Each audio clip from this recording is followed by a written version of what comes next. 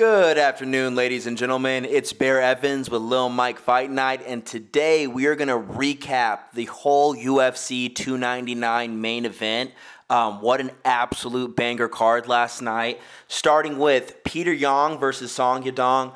Oh my gosh, dude. Song, you know, I think he's 26 years old. Um, he's been in the top 10 for a long time in the bantamweight, and he absolutely was crushing it the first round, really frustrating Yan quite a bit. And then finally, uh, Yan picked up in the second and third round and really showed that championship mentality. Secondly, we have Burns versus um, Jack Della Maddalena. Now, with that one right there, Great fight, guys, and I'm pulling up this video right now. Great fight. The only thing was is I think that was one of the worst stoppages of all time. I think it was worse than the Jalin Turner versus Bobby Green stoppage. What do y'all think right here?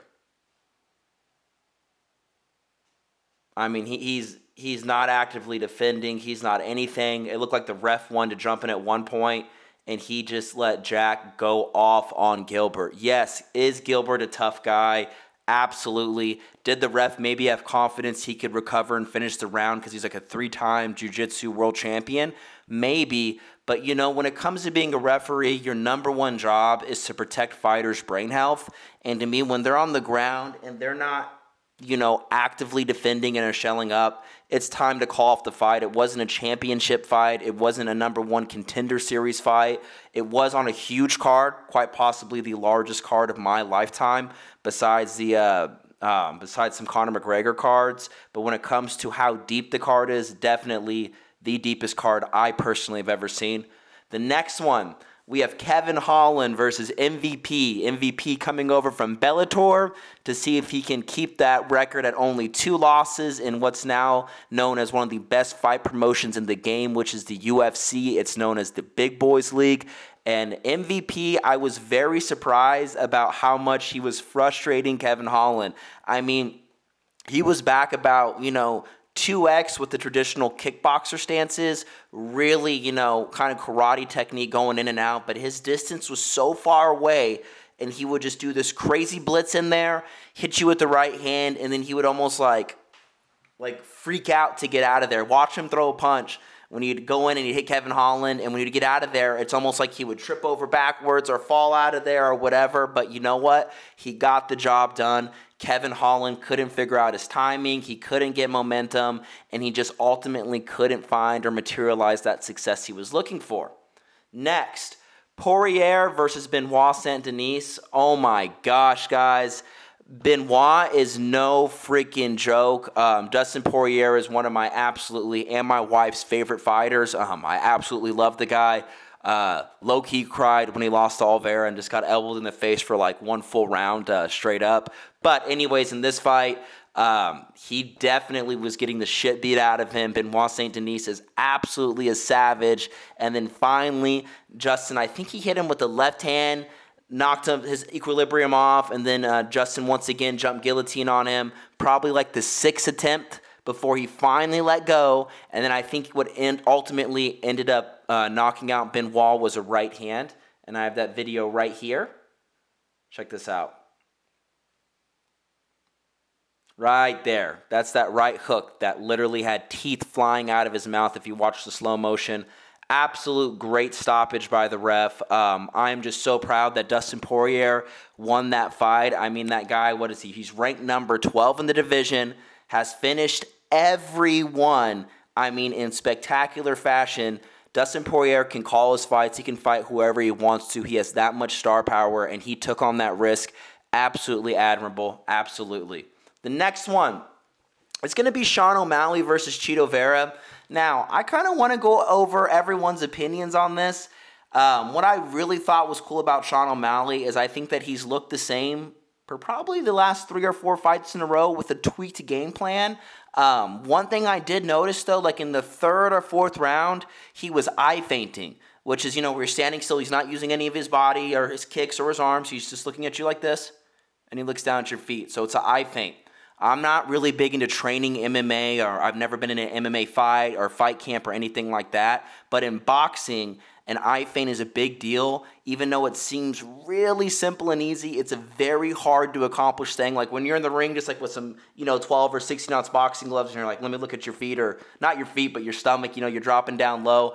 It's kind of a big deal and it's hard to pull off. So I thought that was really cool that Sean not only was using the eye feints, but as well as his signature, you know, look back feint that he does with his head that most people be like, hey, that is way too dangerous. Don't do that. But Sean O'Malley's timing, speed, accuracy, and overall skill allows him to be able to afford to do something like that without getting injured. Now, um, it seems that Daniel Cormier uh, made a comment like, hey, Sean O'Malley got so much better from this fight versus like the Aljamain Sterling fight. The only thing you have to realize is he didn't get better. He had a different game plan. Aljamain Sterling was, you know, considered one of the best bantamweights at all time, you know, beating TJ Dillashaw, Peter Yan, Henry Cejudo, and he's a heavy, heavy, heavy grappler. We all know that. He's the human backpack. He's going to get that body triangle on you. Sean O'Malley's game plan was not to piece him up. It was to make sure that he couldn't take him down until he got frustrated enough to shoot where he could put his head to the right where, you know, Aljo always shoots like that, you know, after a punch will shoot and what did Sean O'Malley do? He got Aljamain frustrated, and then he, once Aljo shot, he did a beautiful counter off that hand that Aljo always throws before he shoots.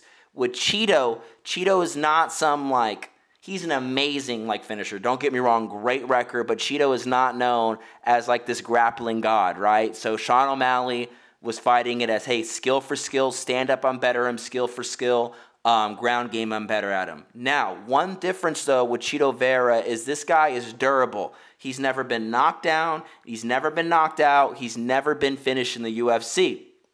With that being said, Sean O'Malley did hit him once where he dropped a knee.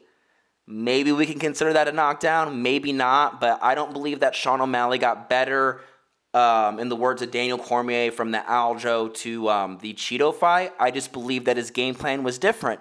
And he doesn't get a lot of the credit he deserves. I know that um, also Aljamain Sterling was saying, hey, fight someone who actually, you know, Sean never like comes into the fire, right? He's always in the back countering on the outside. Watch the Yan fight.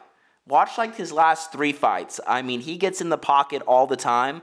One thing I will say that was very different from the Sean O'Malley that uh, we normally see is that he knew uh, Vera was very, very durable. So what he did instead was is he was investing with that right to the body. I have never seen Sean O'Malley throw so many right hands to the body. A lot of times it was, you know, his little flicker jab and then to the body.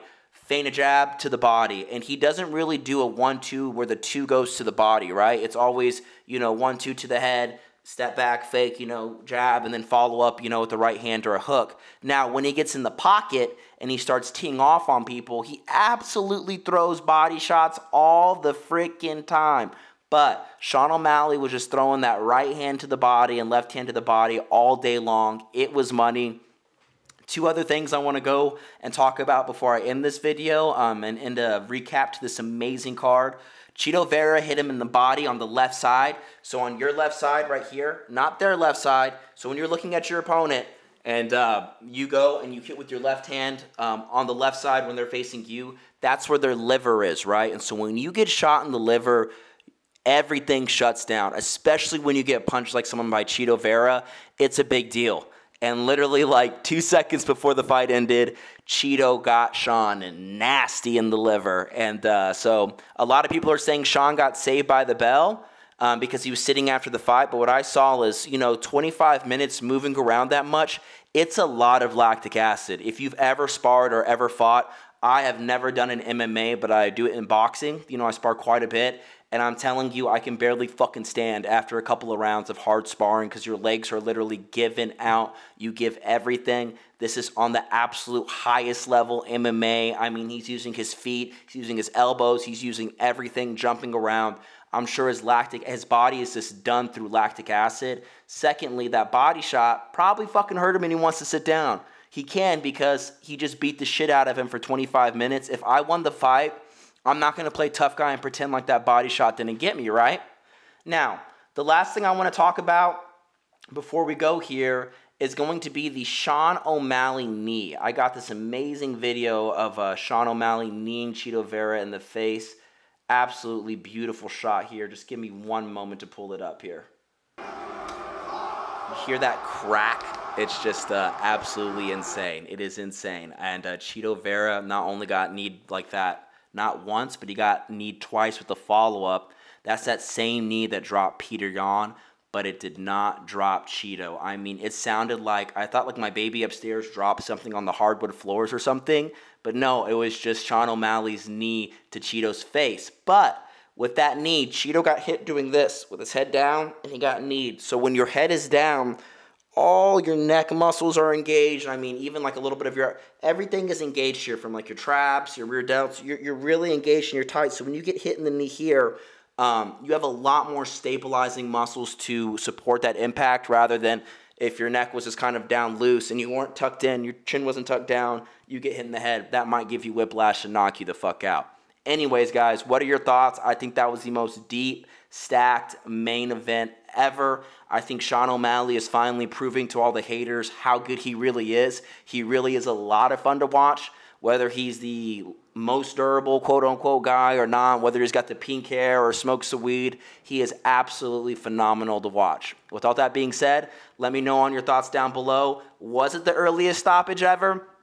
Uh, can Michael Venom Page beat someone like in the top five, like who has really good ground game? I would love to see that. Um, did uh, did Dustin Poirier? Do you think he deserves that title shot? I know Islam said he's down, and so did his manager. And then, uh, fourthly, what do you think about Sean O'Malley? Do you think he lives up to the hype? Do you think Merab's going to sleep him? But I see this guy consistently going up against world class people and knocking them out.